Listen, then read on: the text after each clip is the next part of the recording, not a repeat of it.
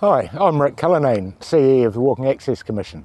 One of our really interesting roles is working with the Overseas Investment Office. And we often get the opportunity to look at land being purchased by an overseas investor to see what sort of public access might be available.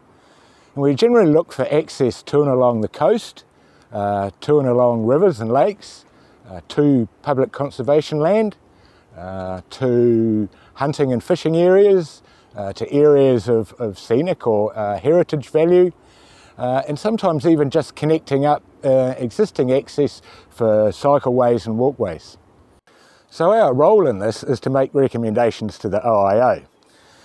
And uh, as part of our assessment, we consult quite widely, closely with uh, Mana Whenua, uh, with Department of Conservation on specific details, uh, more work with the landholder, uh, Heritage New Zealand and a whole range of other people until we've got uh, a package or a recommendation that the OIO can then insert in the overseas consent. If you'd like to know more, check out our website at walkingaccess.govt.nz.